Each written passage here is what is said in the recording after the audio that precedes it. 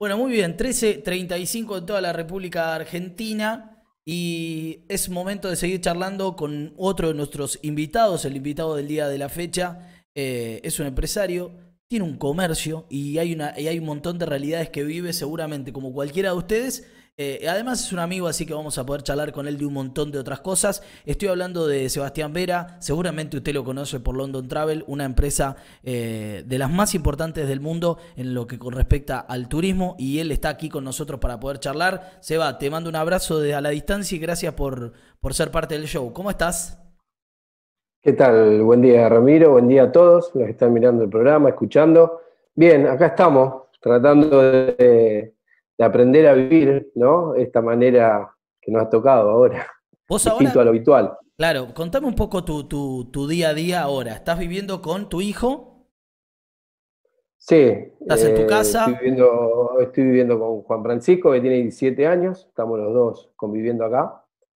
Eh, y bueno, lo, importante también que puedo seguir trabajando desde mi casa, que era una de las cosas que ha afectado mucho mm. todo esto del COVID. Así que bueno, por intermedio de una puerta puedo ingresar a mi oficina, que la tengo en la parte delantera de mi casa. Así que eso me permite poder seguir eh, con la tarea laboral, ¿no? Seba, vos sabés que cuando mm, nosotros ayer informamos, compartimos que ibas a estar en el programa, eh, hubo gente que me mandó mensajes que, que tienen que ver con qué pasa con los viajes programados para fechas más adelante. Fue como la pregunta más repetida esa. Y aprovecho como para arrancar con esas. Después andaremos por otros lugares. Pero que me cuentes un poco la realidad que te está tocando vivir a vos. Porque las empresas de turismo hoy tienen un asterisco. Como muchos, ¿no? otros rubros. Eh, y la pregunta que por ahí me, mandaron varios es, ¿qué pasa con los que tenemos viajes para septiembre, octubre, noviembre? Eh, para seguimos pagando, eh, pero ¿qué, ¿qué va a pasar? Bueno, era un poco la pregunta que se repetía.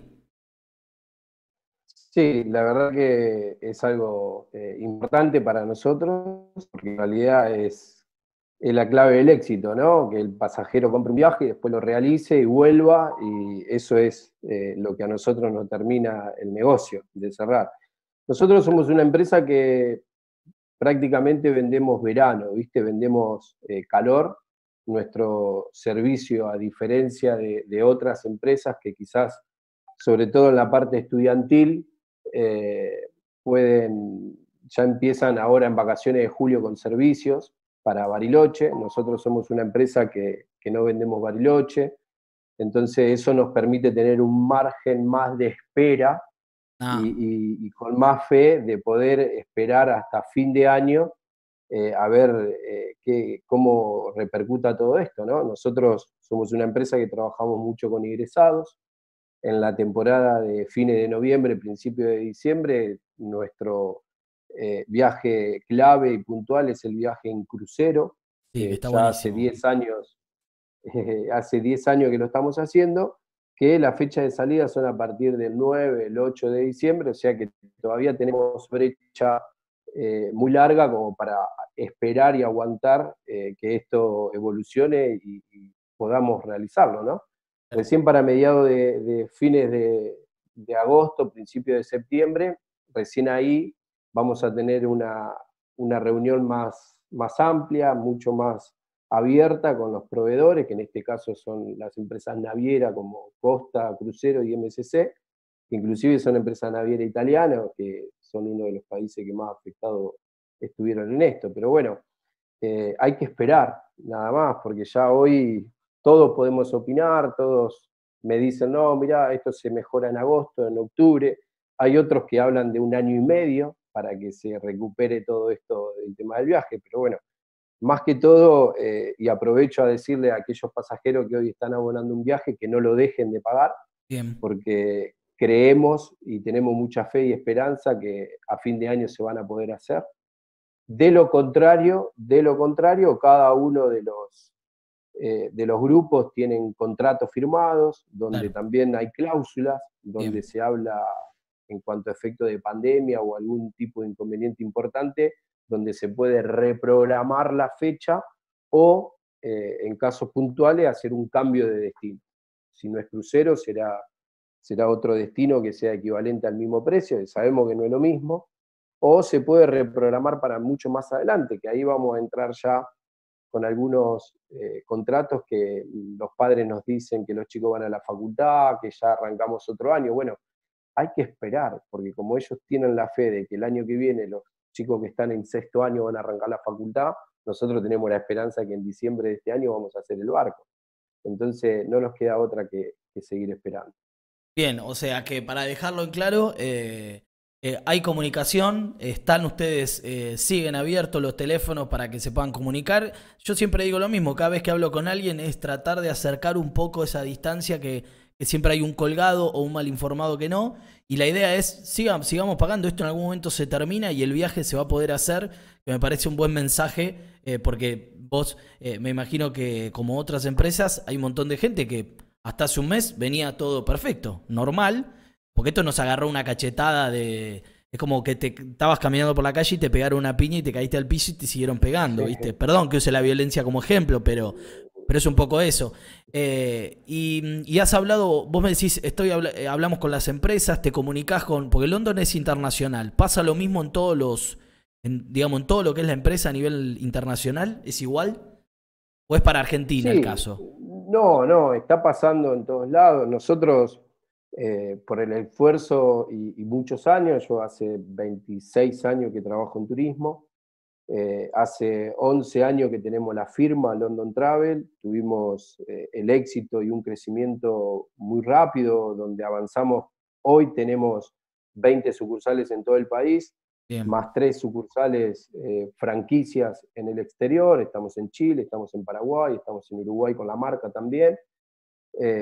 Tenemos una, una, unidad de trabajo en Miami, donde lo manejan bueno, argentinos que están allá. Y la verdad que esto, eh, a ver, no, no, no, nos pegó físicamente, pero nos afectó psicológicamente y económicamente, entonces nos agarró donde tenemos que tener un plan B. El plan B siempre fue que uno nunca cree que pueden llegar a pasar estas cosas y hoy está pasando. Yo hablo con mis amigos y, y, tengo un amigo que me hace reír un montón porque me dice, che, esto es de Netflix, esto es de serie de Netflix, esto no lo digo no se podía creer, y bueno, sí, es la realidad. es así, ¿no? Es de película.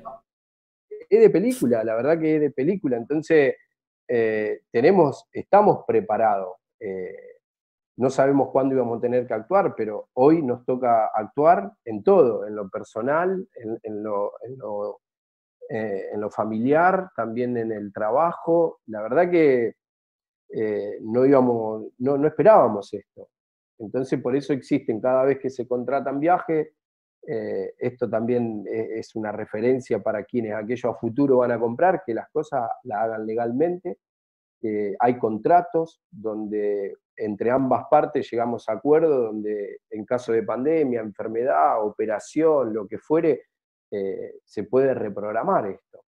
Claro, Sí somos conscientes, sí somos conscientes que va a dejar una secuela muy importante.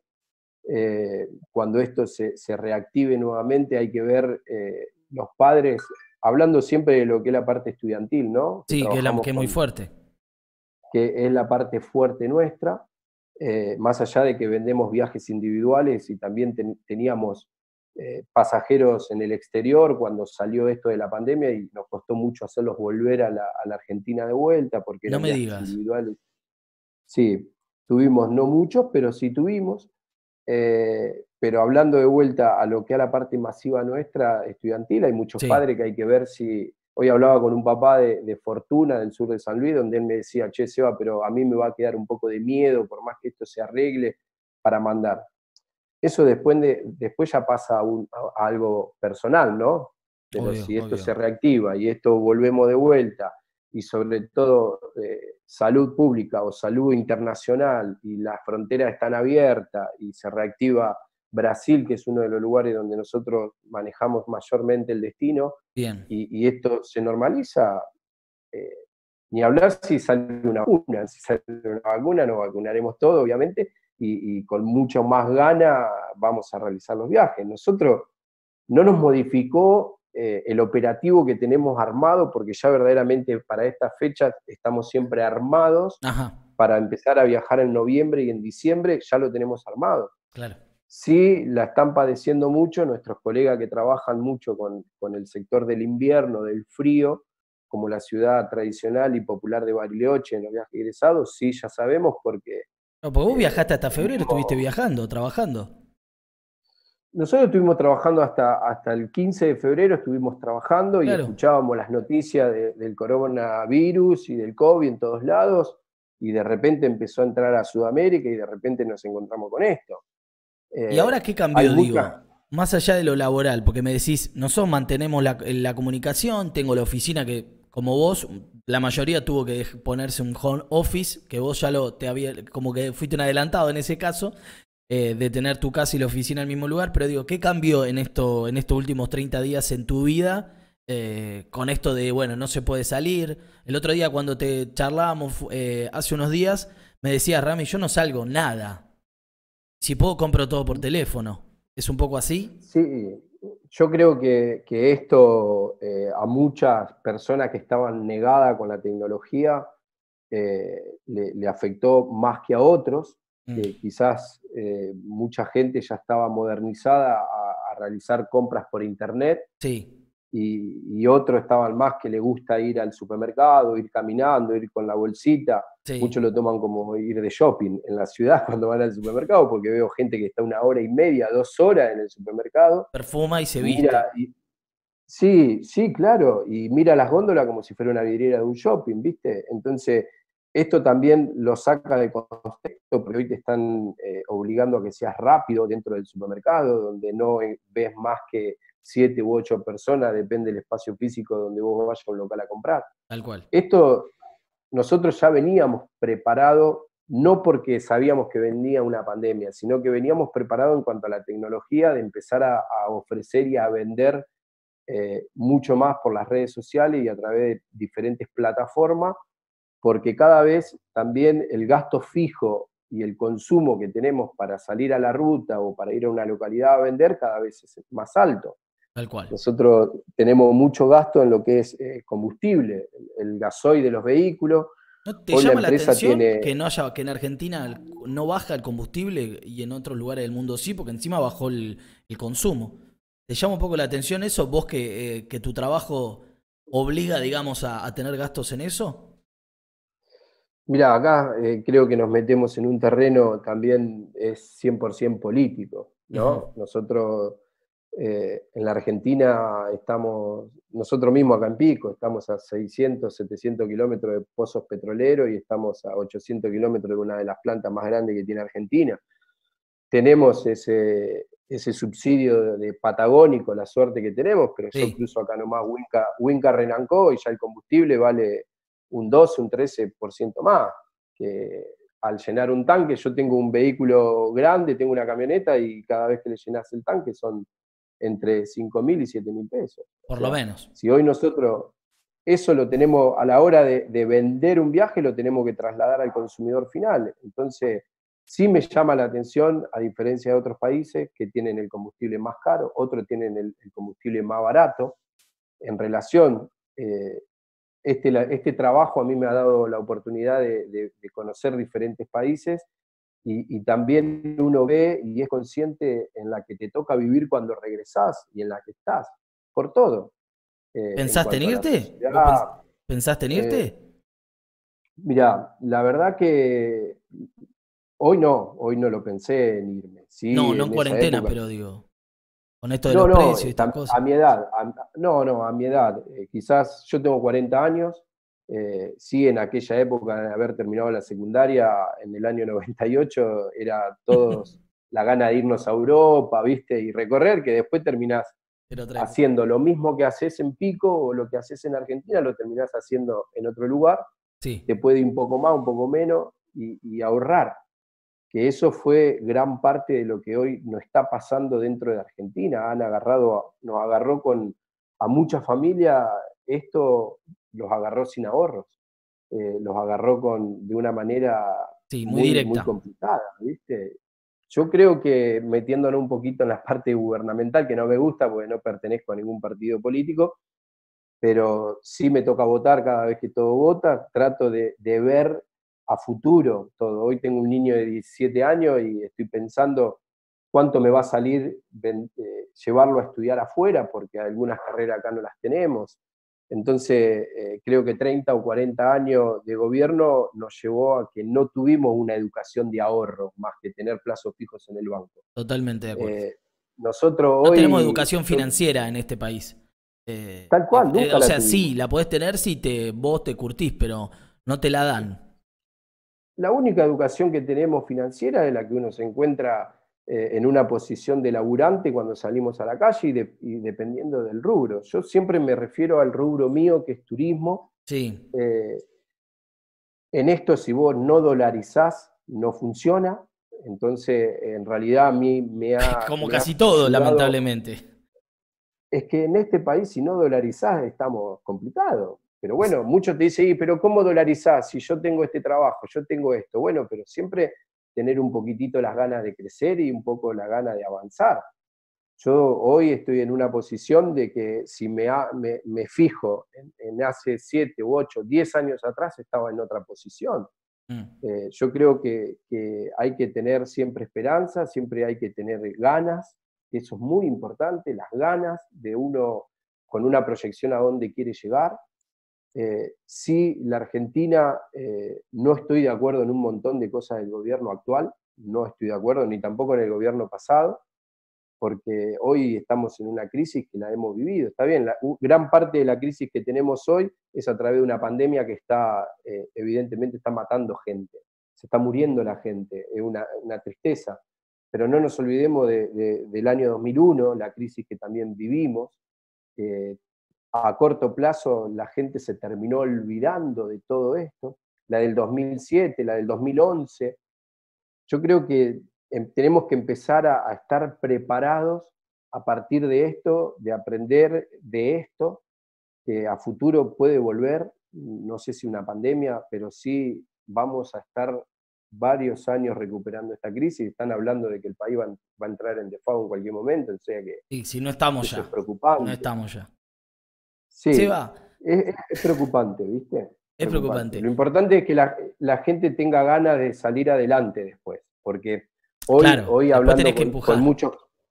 Y hoy hablando con mucha gente que tiene empresa, que es empleado, mis amigos, mi familia, hoy hablo con muchos de ellos y, y ya hoy no les importa tanto lo que está pasando en cuanto a la enfermedad y la salud, porque ya aprendimos de que tenemos que prevenir, cuidarnos, estar en casa hasta que pase esto, Sí, la persona que sale a laburar tiene que tener su, recaudo, pero ya hoy estamos teniendo un daño colateral, un, daño psicológico de lo que está pasando. Ni hablar a aquellas personas que se la pasan todo el tiempo en internet o mirando la televisión de Buenos Aires y están contando los, los, infectados, los que se curan, porque tengo gente muy cercana a mí que se la pasa todo el tiempo viendo eso. Está mirando noticieros, viste, fallecen dos en tal lugar y te mandan un mensaje, che, viste que eran 111, ahora son 118. No, no, bueno, No, no, no es por ahí, no es por ahí porque eso cansa y, hace bastante, agota un montón. Escúchame. No, y aparte después lo que se, mezcla todo, ¿viste? Tengo, me mandaban fotos del hospital de General Pico, de acá de la ciudad, que estaban poniendo unos containers y ya era no, porque se viene una ola ahora de pico del COVID, todo infectado. Claro. Y bueno, no sabemos qué hacer. No, no, lo que yo, yo digo, para ir, para, para cerrar un poco esta, este tema muy interesante, digo, a veces hay que salir un poquito de, bueno, si no lo puedo controlar, me parece que tampoco tengo que ponerlo mucho en mi cabeza. Acá hay, la mayoría de las cosas no las podemos controlar, excepto cómo decidimos que nos afecte. Por eso yo siempre soy muy cuidadoso. Acá en el programa hablamos muy poco de esto, más allá de hablar con los protagonistas, como lo estamos haciendo con vos, la información está en todos lados, no hay que agotar eh, porque una vez no se da cuenta. A vos te toca porque estás al frente de un lugar, a mí me toca, le toca al comerciante. Digo, no podemos controlar esto. Lo que podemos hacer es quedarnos en casa, eh, no, no bajar información falsa, eh, ser bueno con las personas que más lo necesitan y demás. Ahora, vos hablaste un poco de tu hijo en toda la charla. Y yo te quiero preguntar, ya en la última parte de, la nota, eh, agradecerte en primer lugar, eh, porque es importante cada una de las personas que se suma al programa, para nosotros es muy importante. ¿Qué pasa ahora en cuarentena con tu hijo? Digo, eh, ¿cuántos años tiene? ¿17? Francisco tiene 17. Sale PlayStation, Netflix, ¿cómo la manejan? Porque sé que te gusta cocinar, que comparten mucho tiempo juntos. Sí, sí, en verdad, bueno, hemos aprendido a convivir un poco más de cerca, ¿no? claro. Aprender yo de él y él aprender de mí. Qué lindo. Sí tiene los horarios cambiados, porque la realidad, eh, a veces yo me, levanto y él se está acostando. Eh, ah, ¿te podés acostar temprano? ¿Vos eh, te lograste mantener eso de los horarios? Sí, sí, sí, sí. La verdad que a mí no me afectó mucho el cambio de, vivir, ¿no? O sea, el, hábito de todos los días. La verdad que yo lo que más, en, el lugar que ocupaba afuera en la calle, hoy lo disfruto en mi casa. Eh, porque era una persona que, soy una persona que viajaba mucho y, que andaba mucho en la ruta. entonces, hoy sigo estando acá, hoy ya a partir de las ocho y media, o nueve de la mañana ya estoy en la oficina, estoy eh, comunicado con, con, todo el grupo de trabajo, doce y media, una corto, a las cinco ya estoy de vuelta acá, o sea, no me cambió eso. Y es como que a la noche, tenemos más, más tiempo, ¿no? Para estar juntos. Creo que sí, en mi caso valoro más el tiempo. Quizás ah. antes terminaba y hacía una cosa más larga y, terminaba. Ahora quizás en ese mismo tiempo que tengo hago más cosas. Eh, y aprovecho, en este caso, volviendo a la pregunta que me haces, a, estar con mi hijo. Eh, él tiene mucha tarea de la escuela. Ah, mira, eh, mira que bien, te iba a preguntar eso. sí, sí, del colegio, la verdad que buenísimo porque están todo el tiempo activándolos a los chicos, dándoles esa inyección de que no se queden. Es preocupante la parte educativa que estamos teniendo hoy porque él, por suerte, tiene, tiene eh, sus herramientas y su, lugar para estar comunicado con los docentes, con sus compañeros y demás. Después, obviamente, compartimos un montón de cosas. Eh, a mí me ha dado tiempo que puedo leer, puedo escribir, eh, puedo estar investigando un montón de cosas. Lo primero que hice en lo poquitito tiempo que me daba eh, era informarme sobre el COVID, que era muy importante, informarse sabiendo de, las prevenciones máximas que tiene que tener.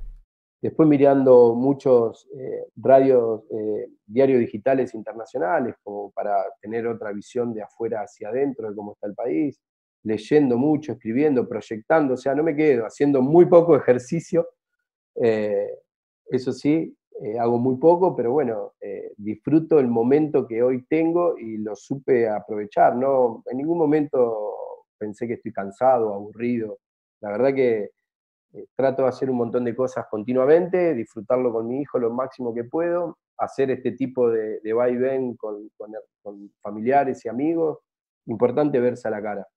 Eh, dejar un poco el tema de WhatsApp y empezar a hacer videollamada, empezar a verse a la cara, a reírse.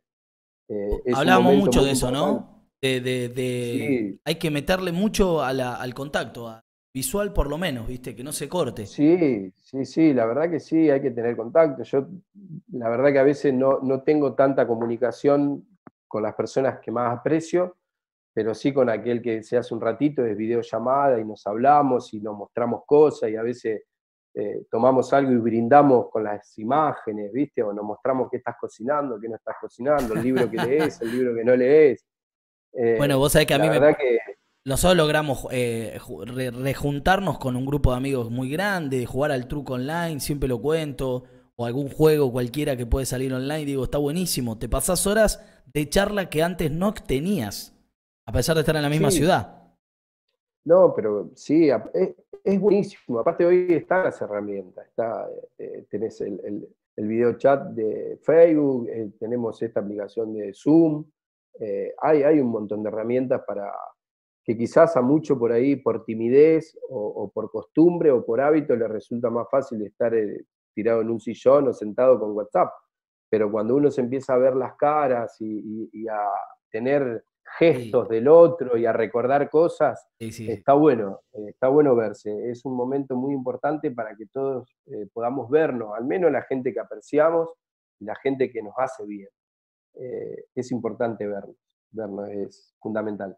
Seba, em, gracias. Gracias por charlar con nosotros, por, por, meternos un poco en tu casa, en el día a día, en tu vida y, compartir un poco lo que está pasando también desde tu perspectiva. Es realmente muy importante para nosotros. Así que nada, agradecerte y obviamente decirle a la gente que London Travel sigue con el teléfono abierto. Eh, no sé si querés pasar alguna información, algo puntual para aquel que está mirando, para que sepa que ustedes están del otro lado volver a repetir lo mismo de hoy, mantener la calma porque sí estamos teniendo consulta de, aquellos eh, chicos y padres que van a viajar ahora a partir de noviembre, diciembre. Mantengan la calma porque hoy no, no podemos eh, hablar con, la, con, la, verdad y decir la certeza porque estamos esperando fines de agosto septiembre que ya vamos a estar más próximos a la salida, vamos a tener una, otro tipo de realidad. Y además que hoy los proveedores tanto como el transportista, el hotelero, sobre todo la empresa naviera italiana como Costa y MSC, hoy eh, las atenciones que nos dan es hay que esperar, hay que esperar, hay que esperar, hay que esperar. Sí tenemos mucha fe de que esto se va a recuperar pronto, eh, que va a afectar a una, a, una, gran parte de la sociedad, pero en realidad manténganse calmos y esperando que nosotros ante cualquier duda o inquietud información positiva o negativa la vamos a estar dando a mediados de agosto, principios de septiembre, que es cuando vamos a estar más cerca. No dejen de, abonar la cuota, la tienen que seguir abonando porque las cláusulas del contrato después uno va a tener complicaciones para pedir una devolución si no aceptan el, viaje o se hace una reprogramación. O sea que cada, cada grupo, cada colegio, cada, cada pasajero tiene un contrato que sería importante que lo lean y, se informen a repasar un poquitito y refrescar lo que era eso. Excelente. nada más. Excelente. Seba, gran abrazo. Gracias por todo.